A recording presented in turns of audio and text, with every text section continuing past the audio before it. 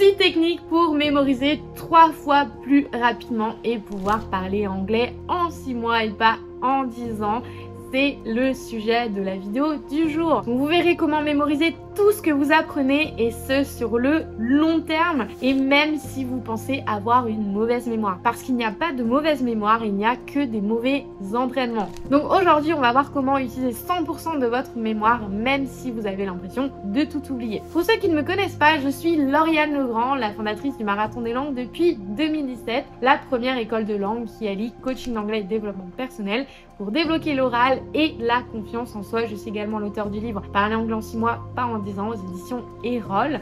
Et je suis passée de nul en anglais à l'école à polyglotte. Et j'explique comment j'ai fait dans ma masterclass qui est offerte et qui se trouve en description juste en dessous de cette vidéo. Sur cette chaîne, je vous donne des conseils pour savoir comment débloquer votre mâchoire en anglais, comment parler anglais en 6 mois, pas en 10 ans, comment lever ce fameux blocage de mâchoire. Donc n'oubliez pas de vous abonner. Avant de vous partager les 6 techniques pour tout mémoriser. Il y a deux choses extrêmement importantes pour mémoriser. C'est le système VACOB, donc visuel, auditif, kinesthésique, olfactif et gustatif. Donc en fait, il nous dit que le cerveau retient beaucoup mieux quand tous les sens sont impliqués dans la mémorisation. Et surtout, il y a une chose à connaître, c'est que plus vous savez comment votre mémoire fonctionne, plus vous pourrez l'exploiter à son plein potentiel plutôt que continuer à apprendre par cœur des listes comme on pouvait le faire à l'école et qui ne fait que bousiller votre mémoire. Et donc souvent, il y en a une qui est euh, dominante dans l'apprentissage. Pour moi, par exemple, c'est le visuel. Je sais que si vous voulez m'expliquer une route pour aller d'un point A à un point B,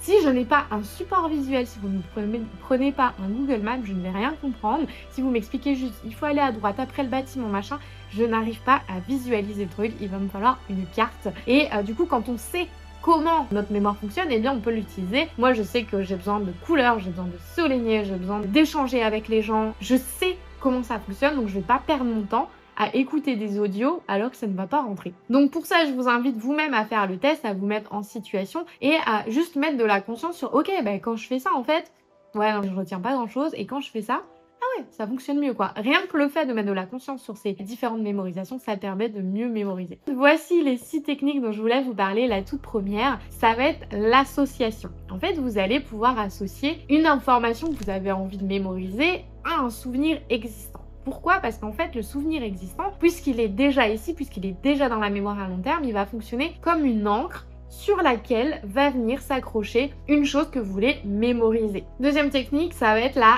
déclinaison des piliers. La déclinaison des piliers, c'est quoi? C'est que pour apprendre une langue, vous avez quatre piliers principaux, l'expression orale et écrite, la compréhension orale et écrite. Donc quand vous allez apprendre un mot, vous allez par exemple l'écrire depuis un livre que vous êtes en train de lire, vous allez l'écrire, ensuite vous allez utiliser le deuxième pilier, vous allez utiliser ce mot dans la pratique orale, donc vous passez à l'expression orale. Et ensuite, bah, ça serait intéressant d'entendre ce mot dans la compréhension orale, donc dans une série par exemple, vous allez vous dire ah mais ce mot-là, attends, je l'ai écrit, je l'ai lu, vous allez l'écouter, et en fait, quand vous faites le tour des quatre piliers comme ça, eh bien, vous avez une répétition naturelle qui s'opère et vous allez pouvoir mieux le mémoriser. Ensuite, la troisième technique, et ça rejoint le, pilier précédent, ça va être la répétition à intervalles réguliers. Et c'est pour ça que je vous parlais de la déclinaison des quatre piliers, parce que si vous faites une simple répétition, à vous dire j'apprends par cœur le mot, je suis assis comme ça à mon bureau, assise à mon bureau, j'ai mon carnet, je relis le mot, votre cerveau il s'en fout, c'est neutre, c'est c'est chiant, c'est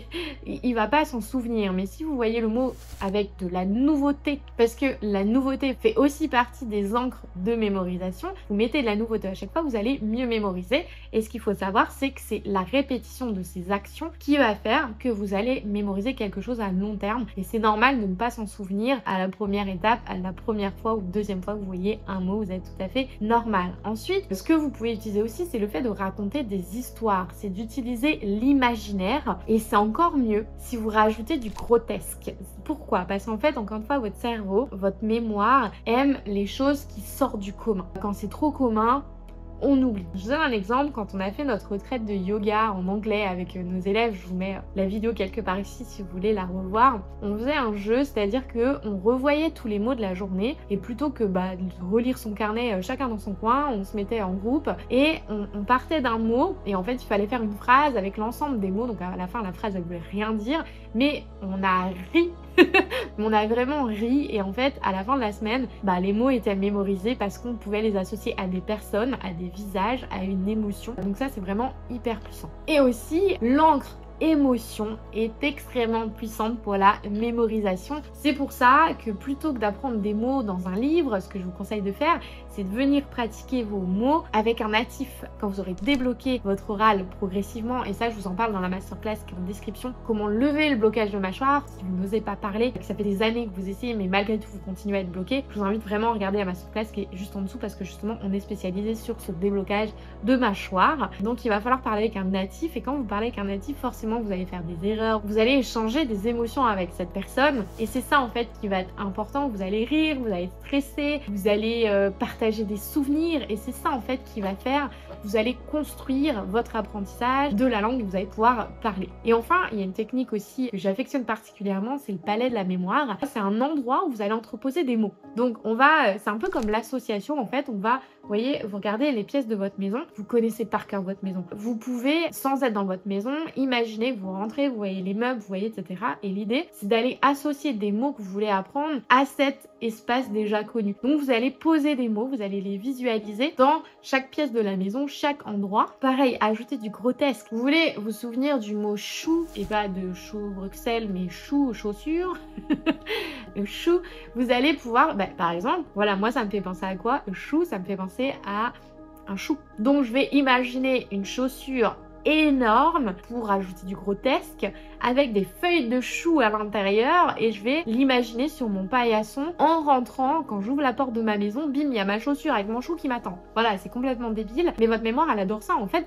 Notre mémoire elle fonctionne encore comme si on était des enfants on aimait euh, s'amuser. On a oublié ça en grandissant en devenant adulte mais en fait le fonctionnement il est toujours là. Donc euh, tâchez de vous souvenir de ça. Et ensuite ce qui est important tout ça c'est technique c'est très bien mais il y a une chose qui est extrêmement importante ça va être d'entretenir votre mémoire. Parce que votre mémoire, encore une fois, c'est comme des muscles. Si vous voulez courir un marathon, vous allez vous entraîner, vous allez manger sainement. Et en fait, l'entraînement de la mémoire, c'est associé étroitement à un mode de vie sain. Donc vous allez devoir, donc quand vous faites du sport, ça va développer vos capacités cognitives, avoir un bon sommeil également, une bonne alimentation aussi. Donc si aujourd'hui, par exemple, vous dites non mais j'ai une mauvaise mémoire, allez voir du côté de votre sommeil, de votre alimentation. Si vous mangez des aliments transformés tous les jours, que vous mangez du sucre en permanence, que vous buvez euh, plus d'alcool que euh, la moyenne euh, conseillée, bah forcément ça va avoir un impact. Et surtout, moi ce que je vois, le truc le plus nocif, qui est euh, assez pernicieux, ça va être surtout le stress chronique. On peut se dire non mais tout va bien, mais si vous vivez une vie à 1000% et vous êtes en permanence dans un stress, bah déjà ça c'est peut-être la première chose à aller voir. Une autre chose aussi, c'est les pensées limitantes. Si vous dites non mais moi j'ai pas de mémoire, j'ai jamais réussi à, bien mémoriser, et c'était mon cas hein. quand j'étais à l'école, je me disais que j'avais une mauvaise mémoire, je prenais des, des médicaments tout le temps qui ne servaient à rien, n'essayez pas. c'est j'avais une mauvaise méthode déjà pour mémoriser, pour apprendre. Et en plus, j'étais stressée en permanence. J'avais la peur de l'échec, j'avais peur de pas être assez, je me sentais nulle. Donc forcément, tout ça, c'est un bon package dont on veut se débarrasser pour pouvoir eh bien mémoriser et parler une langue rapidement. J'espère que cette vidéo vous a plu. N'hésitez pas à me dire en commentaire si c'est le cas, si vous connaissiez déjà ce que vous aimeriez appliquer, s'il y a des choses que vous aimeriez que je développe. Et eh bien dites-moi tout ça en commentaire. Je vous dis à très vite dans une prochaine. Ciao